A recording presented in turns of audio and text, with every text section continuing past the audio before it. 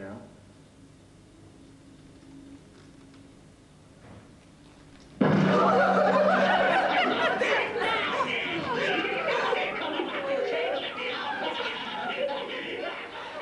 Those girls were watching a scene from a horror film called Evil Dead 1, which broke all financial records in the cinema and as a home video when released four years ago.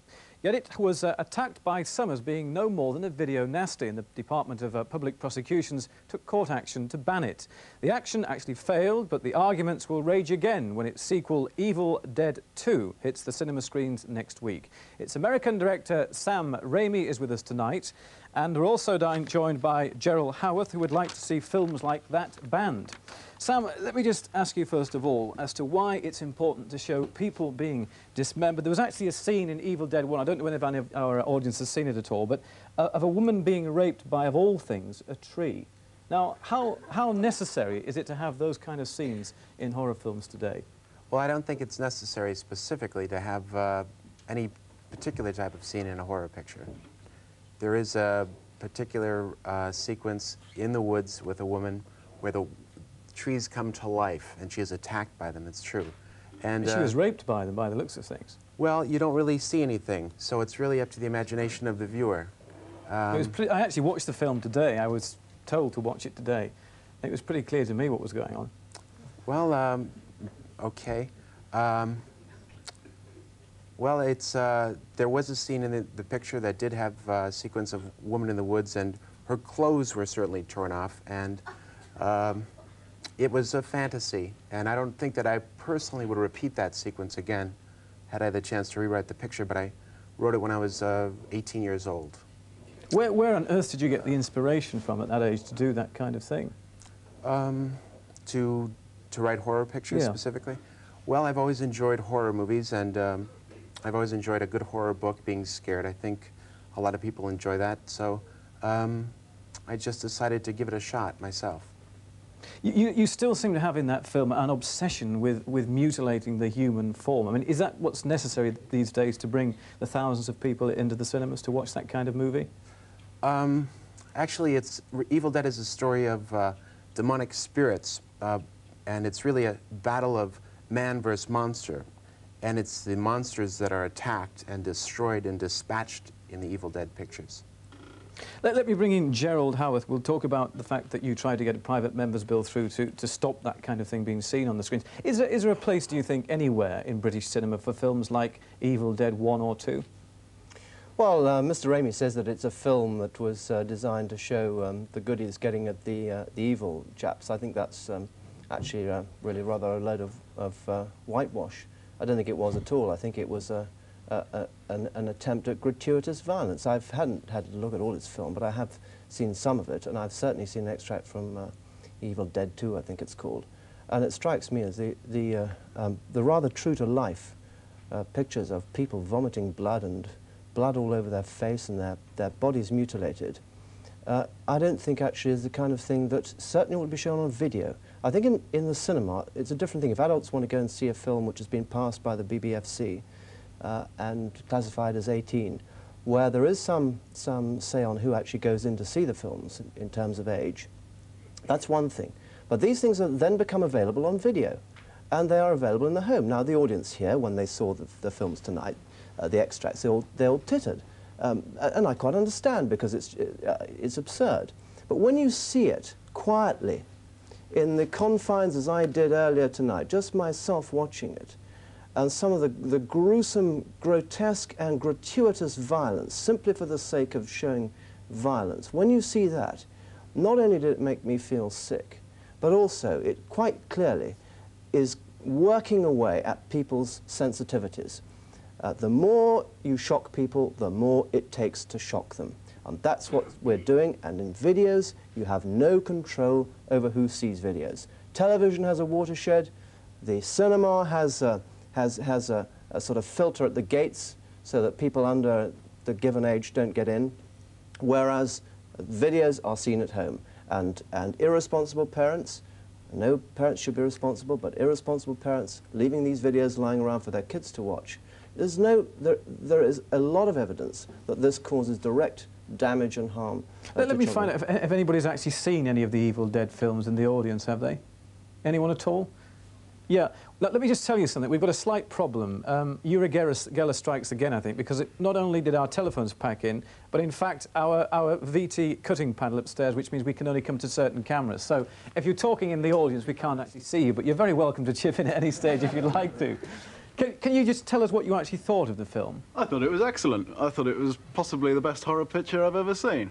Um, I think you've got to, when you go to see a horror picture, you're not necessarily going to see entertainment inverted commas. You're, you're buying a, you're buying a ticket, if you like, for, for an endurance test. I mean, it's like getting on a roller coaster. You, you don't particularly want to go round faster and faster in circles, getting nowhere, being scared, but you like being scared. So you go into the, into the picture and you, you, you like to be scared. I'll That's tell you what I'm going about. to do, actually, because we've only got this camera left. So if I come over and actually stand quite close, did you want to say something, sir? Yes, Andy, I do. Look, um, there's been a lot of talk about trees attacking people. I, I don't think there's rape in that scene. I've seen the movie. But I, I don't remember 1939 people sitting, well, it wasn't television, but screaming on radio, look, the trees came alive and threatened Dorothy. Judy Garland, no less. People are losing their sense of humour. These are horror comics. They're not meant to be taken seriously. I'd be a lot more worried if my kids, when they were young, saw news at six o'clock which showed bloody violence in the streets of Belfast, because how can they tell that's just a movie? It isn't just a movie, it's real life. People are just taking this a little too seriously, a little too pompously. Okay, let, let me bring in another gentleman on the front row if we can come over here. Again, we've got the only one camera. Uh, Jamie Bogle is from the National Viewers and Listeners Association. Now, are we taking this far too seriously? Well, I think, if I may just say so, about um, Sam Raimi's film, I think it probably has all the charm and sophistication of a speech by Joseph Goebbels, and about the same sort of, same sort of social usefulness. I mean, the thing that you've got to bear in mind is that the scenes that we saw tonight are only uh, small excerpts from the film. You haven't actually seen the very worst of it by any means. The, it's, you know, a great deal worse than that. It's, it, and to watch it, as Gerald Howarth said, uh, non-stop for some length of time, it certainly does have a, a, an effect on, on one, I think, and uh, this is the thing that we're concerned about. I mean, that's it's an inescapable fact that uh, the media of any sort, and particularly Is- video, is there go- any evidence at all that though these Well, films that's what I was just going to come to actually. cause harm? There is a great deal of evidence. I mean, I think that the greatest evidence of all, as far as the media is concerned, is the fact that television and uh, other forms of media must be having an effect on our behaviour. Otherwise, advertisers, for example, will not pay such vast sums of money in order to advertise on it. So I don't think there's any doubt in, in, in anybody's mind, if you really come down to it, but the fact that, that all forms of media do influence us in some way. Now, obviously, they only influence, influence us to a certain degree, but if you live on this sort of thing, you have a diet of it, it becomes addictive, it does start to affect your behaviour. And there is no doubt that this Well, has well, sitting next to you is, is, a great fan of uh, horror movies. Are you, are you addicted to them and has it affected your behaviour? You've got, a, you've got an Aliens badge on, I see there, and a, and a, a, Yeah, a dead T-shirt as well. I've been watching uh, horror films for many, many years now, just purely out of interest to start with, and gradually I, I discovered that the more I watched, the interest was actually in the effects. The people wanted to see, you know, what kind of monsters would appear in each sufficient movie. Um, I think the problem is that the the rating system, which was brought up earlier for films that you, You can go on, I'm to just in the to cinema, sit down because we've got the cameras back um, now. is uh, is already extended to videos, so that you can go into a shop and every video now has an 18 certificate if it's either a horror or a sex movie. So I don't think that the same uh, arguments that we shouldn't have videos available like this should be raised. It is up to the retailers who are selling the videos to forbid children under the age of 18 from taking these videos home. Yeah, but I mean, the trouble with that is, you see, that if it doesn't matter what age a person is that they go and buy these videos, they are going to be then out of the shop, in which case they're then going to get into the hands of children. It is an inescapable fact. You are going to have that happen. What are you going to do about it? Ger- The let's ask is, if you Gerald just say- Howarth. I mean, what, what can be done to actually stop these things getting into the hands of youngsters who might be uh, influenced by them? Well, I, I do think there's a very difficult question that we all have to address ourselves to here, which is the, uh, the, the freedom of our friend here go and uh, watch what he regards as being uh, uh, the equivalent of a roller coaster. I quite understand, and, and uh, to a certain extent I, I would agree with him. But what I don't think anybody who has really looked at this issue seriously has addressed themselves to is the free availability uh, of the video cassette and its intrusion into the home. And uh, as I we saw those girls uh, um, screaming at that, uh, at that sudden horror bit, and they were all sort of falling over themselves. But they were all together. They were sort of taking comfort with one another, and that's what you do in the cinema. I remember seeing uh, the, the, uh, the Godfather and the, the horse in the, in the bed scene, and you know, I clutched my girlfriend and my, and my best friend on the other side. Um, but I mean, when you're sitting in your own drawing room, it's, it's a different story, and we do have to address ourselves, I'm afraid. uh, to this difficult question of having the, the, uh, these things freely available to children. And I know it sounds a bit nanny statish. I quite accept that.